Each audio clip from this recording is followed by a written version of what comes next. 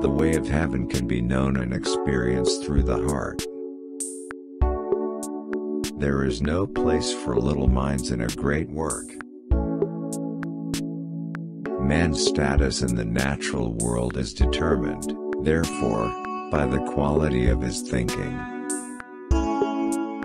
An unhealthy mind, even in a healthy body, will ultimately destroy health.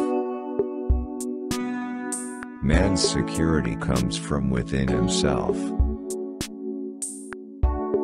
Moderation is the secret of survival. We are the gods of the atoms that make up ourselves but we are also the atoms of the gods that make up the universe. Symbolism is the language of the mysteries. By symbols men have ever sought to communicate to each other those thoughts which transcend the limitations of language. Each person must discover his own philosophy of life, and it is not fair or right to impose our codes upon others. It is also our responsibility, however, to share, one with another, such experiences as may have common value. There are two great systems in the body of man, the tree of life, which is the arterial with its roots in the heart, and, the tree of the knowledge of good and evil, i.e., the nervous system, which has its roots in the brain. These two trees are physical manifestations of a complicated network of branching energy currents in the aura or superphysical bodies. To live in the world without becoming aware of the meaning of the world is like wandering about in a great library without touching the books. It has always seemed to me that symbolism should be restored to the structure of world education. The young are no longer invited to seek the hidden truths, dynamic and eternal, locked within the shapes and behavior of living beings. There are many levels of life which we cannot see and know, yet which certainly exist.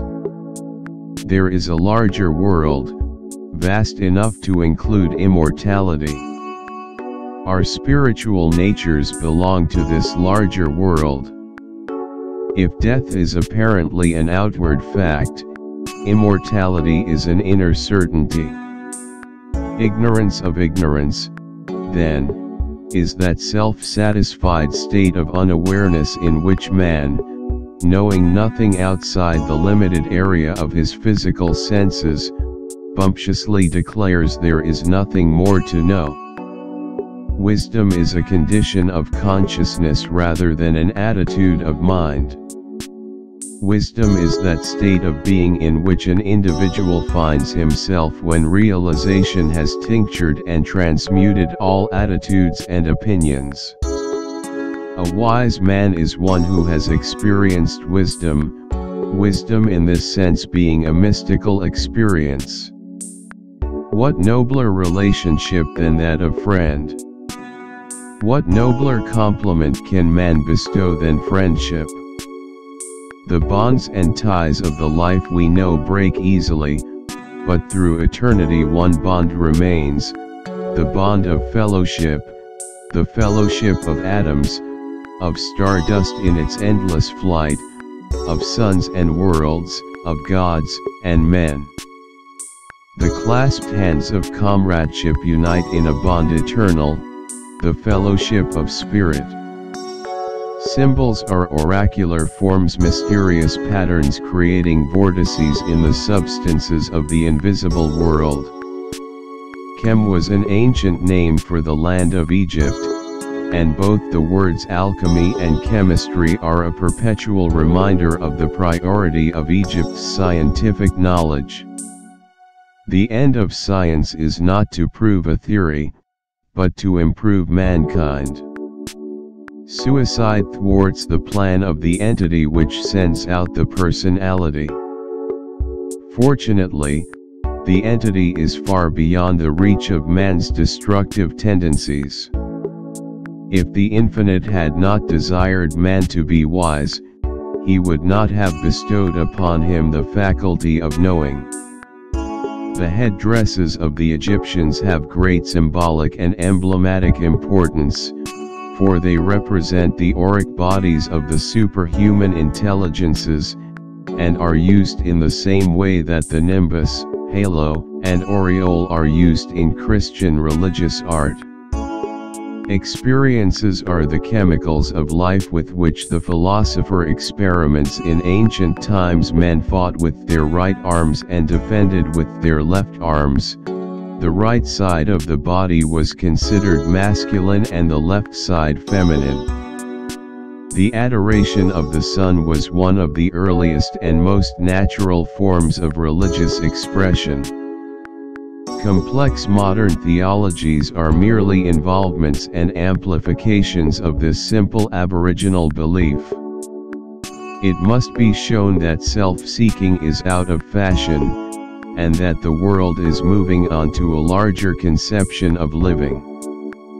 Secret societies have existed among all peoples, savage and civilized, since the beginning of recorded history. It is beyond question that the secret societies of all ages have exercised a considerable degree of political influence. Words are potent weapons for all causes, good or bad. Before our globe had become egg-shaped or round it was a long trail of cosmic dust or fire mist, moving and writhing like a serpent. This, say the explanations, was the Spirit of God moving on the chaos until its breath had incubated cosmic matter and made it assume the annular shape of a serpent with its tail in its month emblem of eternity in its spiritual and of our world in its physical sense. It is only a step from boredom to disillusionment, which leads naturally to self-pity, which in turn ends in chaos. It is the exact experience of mathematics. Not merely the adding up of your grocery bill, or the daily uses that we make of number. But the great concept of a universal exactitude, that numbers are an instrument of magic. And by means of them, men can unlock all the wonders of the world. The end of science is not to prove a theory, but to improve mankind. Suicide thwarts the plan of the entity which sends out the personality. Fortunately, the entity is far beyond the reach of man's destructive tendencies. If the infinite had not desired man to be wise, he would not have bestowed upon him the faculty of knowing. The headdresses of the Egyptians have great symbolic and emblematic importance, for they represent the auric bodies of the superhuman intelligences, and are used in the same way that the nimbus, halo, and aureole are used in Christian religious art. Experiences are the chemicals of life with which the philosopher experiments in ancient times men fought with their right arms and defended with their left arms, the right side of the body was considered masculine and the left side feminine. The adoration of the sun was one of the earliest and most natural forms of religious expression. Complex modern theologies are merely involvements and amplifications of this simple aboriginal belief. It must be shown that self-seeking is out of fashion, and that the world is moving on to a larger conception of living. Secret societies have existed among all peoples, savage and civilized, since the beginning of recorded history. It is beyond question that the secret societies of all ages have exercised a considerable degree of political influence. Words are potent weapons for all causes, good or bad. Before our globe had become egg-shaped or round it was a long trail of cosmic dust or fire mist, moving and writhing like a serpent. This, say the explanations, was the Spirit of God moving on the chaos until its breath had incubated cosmic matter and made it assume the annular shape of a serpent with its tail in its month emblem of eternity in its spiritual and of our world in its physical sense. It is only a step from boredom to disillusionment, which leads naturally to self-pity, which in turn ends in chaos. It is the exact experience of mathematics.